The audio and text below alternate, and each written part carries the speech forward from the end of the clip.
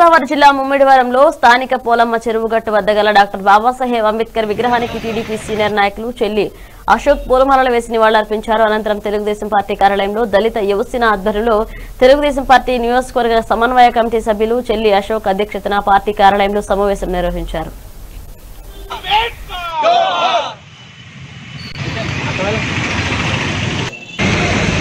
మరి దళిత దళిత యొక్క ఆధ్వర్యంలో మరి YCP YSR Congress party social media అధ్యక్షుడు ప్రభాకర్ రెడ్డి ఎన్ఆర్ఐ అతను మాల కులస్తుల్ని ఉద్దేశపూర్వకంగా దూషించడం జరిగింది కులం పేరుతో. మరి బాబాసాహెబ్ అంబేద్కర్ పెట్టిన రాజ్యాంగంలో వాళ్ళు పదవులు అనుభవిస్తూ మరి ఈ రాష్ట్రం రాజ్యాంగం ప్రకారం నడుచుకోవాల్సింది.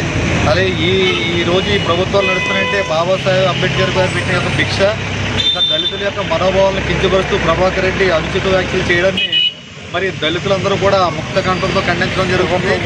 మరి అలాగే మరి జగన్మోహన్ రెడ్డి గారి ప్రభుత్వానికి దళితులందరూ కలిసి పట్టం కట్టి నూట యాభై సీట్లు ఇవ్వడం జరిగింది.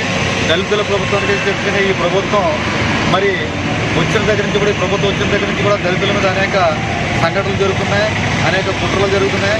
మరి అన్నీ కూడా పట్టించుకోవడంగా జగన్మోహన్ రెడ్డి గారు దళితుల పక్షపాతిగా వ్యవహరించవలసింది పోయి దళితులను అనేక విధాలుగా ఇబ్బందులు గురి చేస్తున్నారు. ఈ ప్రభాకర్ రెడ్డి అనే వ్యక్తి మరి చెప్పుకోలేనటువంటి మనం మాట్లాడుకోలేనటువంటి పరిస్థితి భాషను ఉపయోగించి తిట్టడం జరిగింది.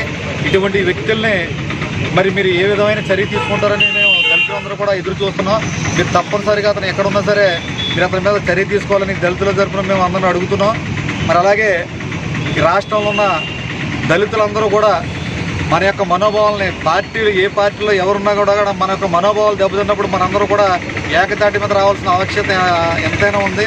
మనందరూ కూడా తప్పనిసరిగా దళితులందరూ ఒక తాటి మీదకి వస్తే మనం బాబాసాహెబ్ గారు పెట్టిన ఏదైతే ఆయన రాజ్యాంగం మనం రాజ్యాధికారం పొందాలనుకున్నారో ఆ విధంగా మనందరం కూడా వెళ్ళే మార్గం సుగమం అవుతుంది.